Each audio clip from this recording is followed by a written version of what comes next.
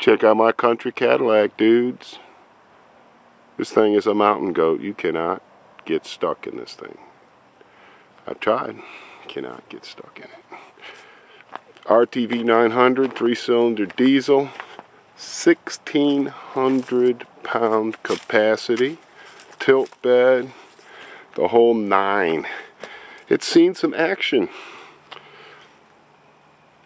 I've had this thing for almost uh, five years now. You'd hardly know it. Runs like a top. Always starts no matter the weather. Check out this power plant, man. That's a real engine, not like that piece of crap they put in a John Deere. Give me a break, man. Three-cylinder diesel. Hydrostatic transmission. Three speeds. Woo!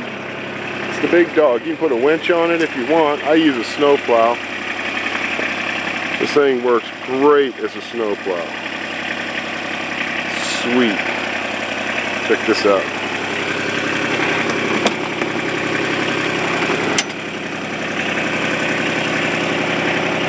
I love the sound of that diesel.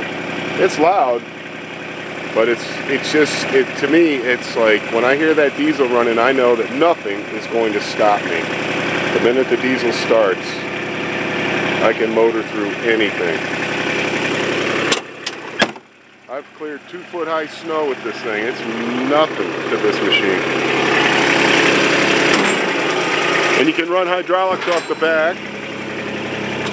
There's a hydraulic out on the back, but they don't make any anything for it. I guess you could use a log splitter. You could run a hydraulic log splitter on it or something. Who knows?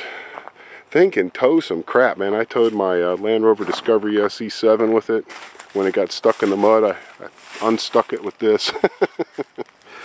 towed an old Pontiac station wagon uphill and down with it. thing had no brakes, so this was the brakes. I love this machine. There's a lot of shit that I would sell, but this is not one of those things. Just reupholstered the seats. They've been out in the weather for four years and the, the wood had rotted, so I put on new stapling and then I stapled covers over it with uh, adhesive. Redid the back, it's all watertight again. That thing was like one big sopping sponge until I redid it today. I know it's kind of fruity looking, but I think it's kind of psychedelic, so I like psychedelic. I like fluorescent orange. I like it, man. I like night rides. My country Cadillac.